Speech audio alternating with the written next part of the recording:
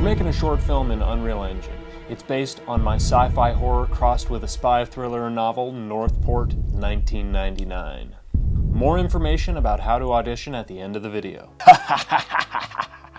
Scary movie time! Today's behind the scenes development log is about how we're making the spooky forest environment for the short film. Starting with the largest element, we've got the landscape which is based on the Lester Amity Park in Duluth, Minnesota. So, originally I went down a rabbit hole of trying to recreate the height map of Duluth. I downloaded LiDAR scans of the region and imported them into Unreal Engine and made absolutely massive environments, so large that they didn't even fit in the default skybox.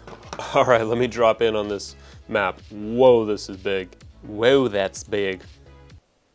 That's what she said. This is gigantic! I'm just falling forever. Holy moly, this is big. How am I even gonna find my way to the place I wanna go? I finally landed. And I realized that I was overdoing it. I was excited about something specific, which is an issue that happens with artists. We get excited by an idea and we fall down a rabbit hole and a day is gone. And then we go, hey, what do we really want? The truth is, for this first short film, I only need a couple hundred feet of trail, and it doesn't matter what the surrounding environment really looks like beyond what we can see. So I decided to generate the landscape the normal way and sculpt it by hand in Unreal Engine. Then I used an auto material for the landscape and that auto material has multiple layers, the top layer being grass and then underneath that is like a rocky layer that automatically applies itself to steep sloped areas of the landscape.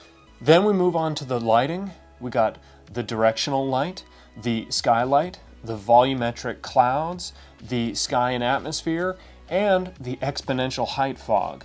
Then I also attached a rudimentary cone light to the, the third person blueprint so that I could get a sort of flashlight effect, one that we will be improving later. Then, moving on to foliage. First, I did what you normally do in Unreal Engine and I painted the foliage by hand. Trees and then bushes and then grass. But then I decided to learn about procedural content generation, which is a new feature in Unreal Engine 5.2. So in order to take advantage of that, I learned how to procedurally generate foliage. I could select a large swath of the landscape and just press simulate and boom, all the trees arrive. That has at least 12 different types of trees, 10 different types of ferns, over 20 different types of grass. And so that is how I was able to procedurally generate a verdant and full, lush forest biome.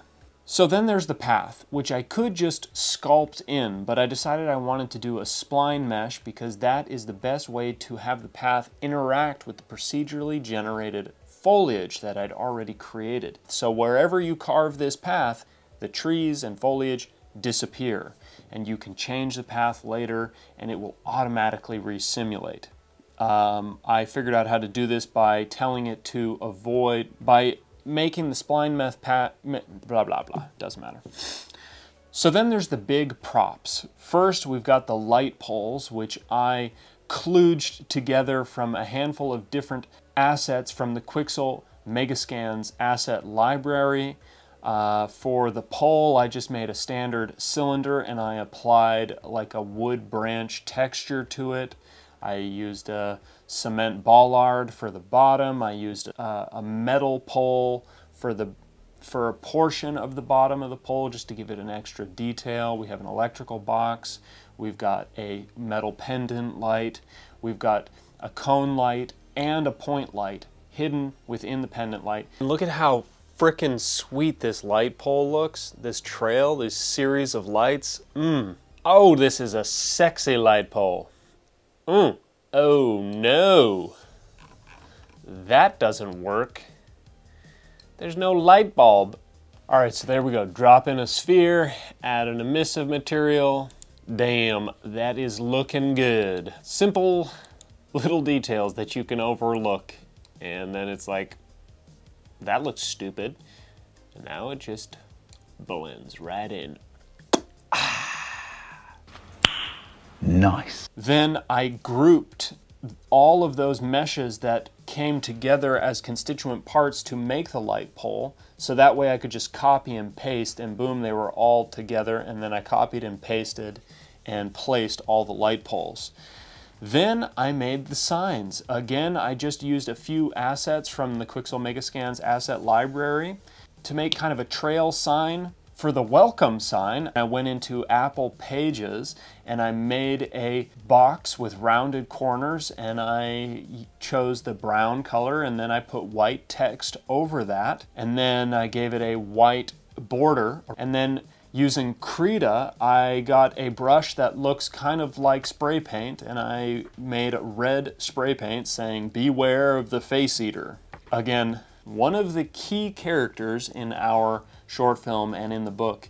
And uh, we are casting voice actors for the face eater, the creature. So give us your scariest growl. So then I printed out uh, the graffiti as a PNG. I basically pasted that over the sign, exported all of those as a PNG, brought those into Unreal Engine, and made those into a texture. And then I applied that to a rectangular static mesh as a decal. When I upload this PNG that I made of the sign with the graffiti over it, blah, blah, blah, blah, blah, but then you apply and your material looks like crap because all the stuff that's supposed to be see-through, the alpha channel on the PNG, is not see-through. So it looks stupid.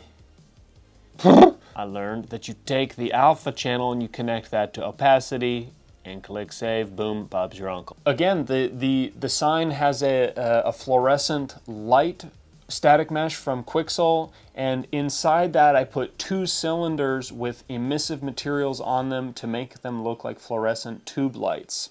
I duplicated the sign and I made a second sign which is the trail map and for that I actually took the Lester Amity Creek trail system map from Duluth and I replaced the city of Duluth with the city of Northport.